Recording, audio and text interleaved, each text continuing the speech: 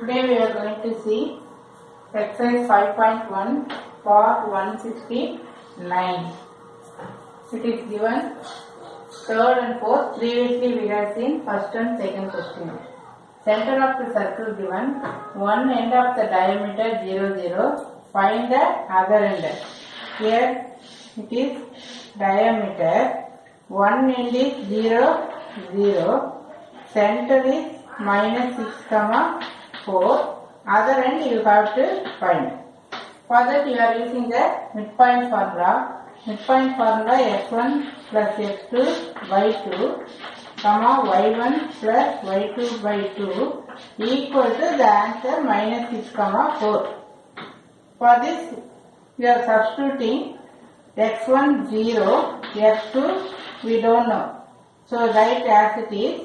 Then by 2 comma y1 0 y2 you don't know by 2 equal to minus 6 comma 4 so x2 by 2 comma y2 by 2 equal to minus 6 comma 4 so it implies x2 equal to take 2 this side minus 12 then y2 equal to take 2 to the y coordinate so 2 into 4 8 so the answer is minus 12 comma 8 so for this answer 1 mark. Then if you substitute the value for this step 1 mark. So it comes under 2 mark question next we are doing once again I explain. The answer is given. So you are writing formula in the LHS side answer in the RHS side if you are given answer means you are writing in the RHS side right hand side then formula in the left hand side then only it will be correct now we are substituting x1 y1 value then 2 is in the denominator when it goes this side you are multiplying the answer is minus 12 comma 8 here itself you know just you are multiplying by 2 ஷார்ட்டா பார்த்தீங்கன்னா 2 all multiply பண்ணீங்கன்னா minus twelve 4 into 2, 8.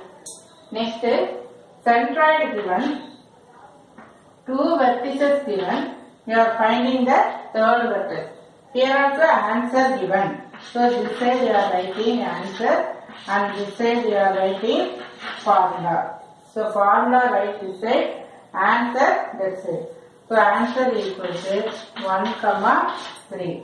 This formula is x1 plus x2 plus x3 by 3 centroid formula. Then y1 plus y2 plus y3 by 3 equal to 1 comma 3.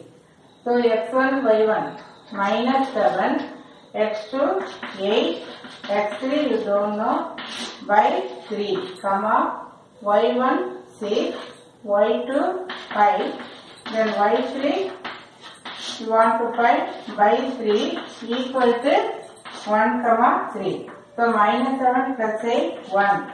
So 1 plus x3 by 3 comma 11. 11 plus y3 by 3 equal to 1 comma 3. So equating first coordinate to x1.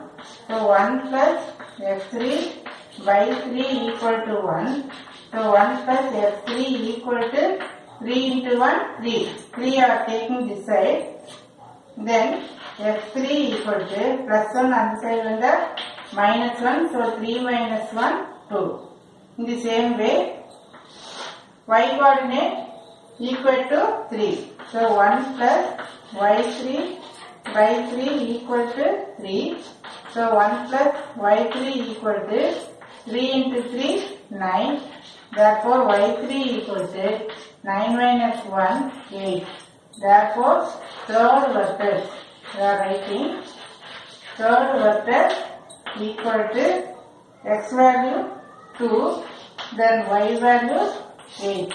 Now we check the answer for third vertex is equal to 2 comma minus 2. Here the answer is minus 2. 6 plus 5. What mistake we have done? 6 plus 5 by y 11 3 3 are 9. 9 minus 1, 8 only.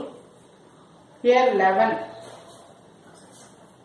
I have written 1. Sorry, here 11. Because 11 plus y3. So 11, here you write 11. So 9 minus 11 minus 2. So the answer is 2 minus 2. So now we check the answer. The answer is 2 minus 2. So it is correct. Thank you students.